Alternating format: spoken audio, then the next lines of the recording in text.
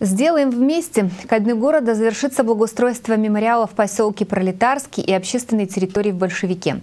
Работы на этих объектах проводятся по программе инициативного бюджетирования. 255 жителей поселка Пролетарский, в основном это работники местной суконной фабрики, не вернулись с полей Великой Отечественной, и их имена увековечены на мемориале «Родина-мать», открытом ровно 60 лет назад. Благодаря инициативному бюджетированию, новому направлению финансовой системе, позволяющей самим жителям определять и участвовать в финансировании социально значимых объектов, сегодня в поселке Пролетарский проводят работы по обновлению и обустройству сквера и мемориала. Работают два подрядчика. Один подрядчик у нас динамика света занимается прокладкой кабелей и монтажом опор освещения. Здесь у нас появится 36 новых торшеров а, со светодиодной оптикой. Вот, а будет довольно-таки светло, довольно-таки красиво, все в дизайнерских решениях учтено. И отдельно у нас работает бригада, которая сейчас занимается непосредственно демонтажом старой брусчатки, опилом деревьев.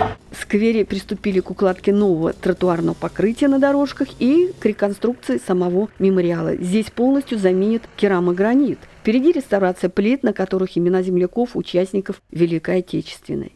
Скоро здесь будут и цветы красивые посаженные, и кустарники, а рядом находящаяся могила, прямо рядом могила наших пролетарцев, которые погибли во время бомбардировки нашей 7 э, ноября 41 года нашей фабрики. Хорошо, что именно в год 60-летия этого сквера идет реконструкция. Перемены в облике сквера произойдут существенные. Появятся новые фонари, скамейки, здесь посадят деревья и восстановят газоны. А в Большевике, благодаря программе инициативного бюджетирования, продолжится благоустройство местного Арбата. Теперь уже в районе домов 3, 3А и 5. За вторую очередь строительство пешеходной зоны проголосовали более 200 человек. Она будет не хуже обустроена в прошлом году. Здесь появятся детские площадки, места отдыха для взрослых. Особая гордость – велодорожки.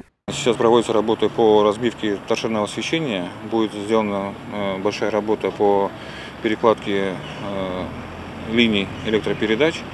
Э, в дальнейшем будет осуществлено согласование с подрядными организациями. И уже тогда в понедельник будет начинаться благоустройство полностью вместе с тропиночной сетью и раскопками и установкой закладных опор. Реализация проектов осуществляется за счет средств Московской области, муниципалитета и внебюджетных источников. В этом году благоустроить общественные территории в Пролетарском и Большевике помогла компания «Элитстрой». Закон об инициативном бюджетировании принят не так давно, но уже очевидно, он работает. В прошлом году благодаря этой программе второе рождение получил мемориал в Турово и был начат первый этап благоустройства в поселке Большевик.